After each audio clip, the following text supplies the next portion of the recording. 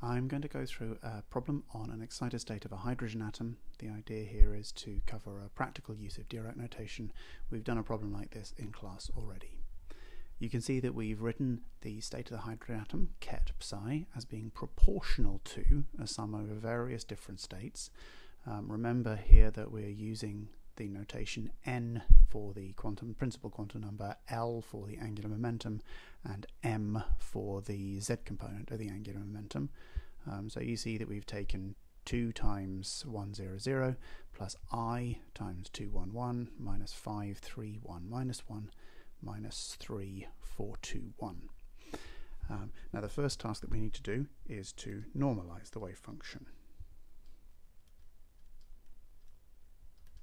We normalize by requiring that bra psi ket psi is equal to 1. If you want a physical picture of that, that's just equivalent to saying that we must have the probability of finding the particle somewhere in space equal to 1. Um, a reasonable physical approach to take.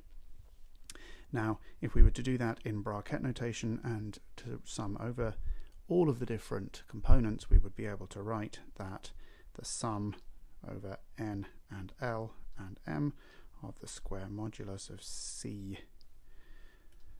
I have written that wrong.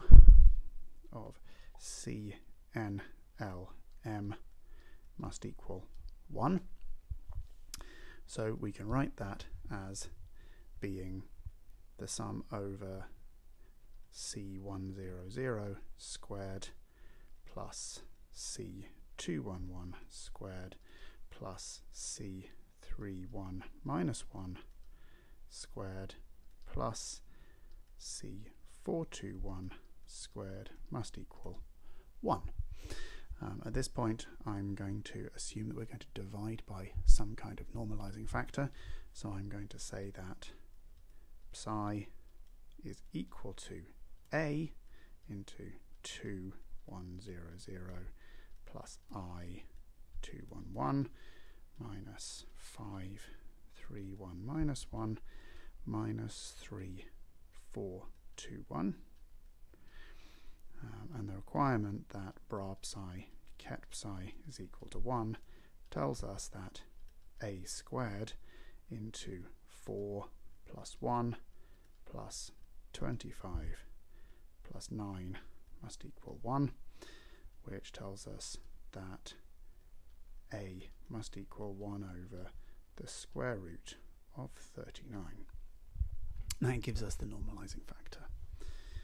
The second question that we're going to answer um, is the probability of observing the system in the ground state.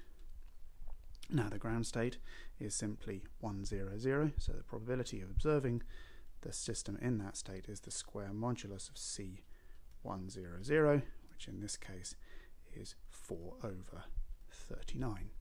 That's taking the standard approach to a basis expansion, which is to say that the probability of observing any particular basis state is the square modulus of that state. The third question that we are going to tackle is the expectation value of Lz.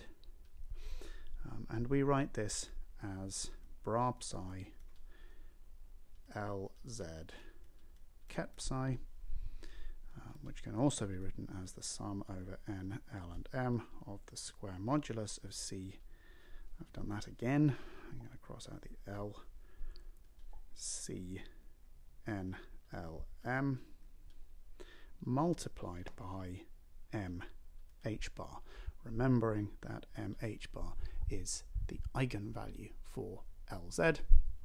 And when we do that, then we see that we have h bar into 4 times 0. So 4 is the coefficient, the square modulus co the coefficient of 100 and 0 is the LZ. Um, and I'm going to add to that 1 times 1. I'm going to add on 25 times minus 1 and I'm going to add on 9 times 1 and then the whole thing needs to be divided by 39, the normalizing factor. So in each case we've taken the square modulus of the coefficient for 1, 25 and 9 and we've multiplied by the eigenvalue of Lz uh, which for 1, 0, 0 is 0, for 2, 1, 1 is 1, for 3, 1, minus 1 is minus 1, and for 4, 2, 1 is 1. And when we add that all up, we find minus 15 over 39 h bar. Finally, we might ask ourselves the question, what's the probability of observing L is equal to 1? Um, in this case, that's going to be equal to the sum of the square moduli of the coefficients where L is equal to 1. Um, and in this case, that's 211 squared um, add 31 minus 1 squared. Um, that's equal to 1 over 39. That's the square modulus of the coefficient of 211. Add 25 over 39. So therefore that's 26 out of 39. This is slightly different to the problem we've done in class, and I've done that deliberately so that you can see different examples. In particular, I've used a complex coefficient for one of the states. Remember, that just means the phase is different. It's vital to remember that complex numbers are equivalent to a shift in phase.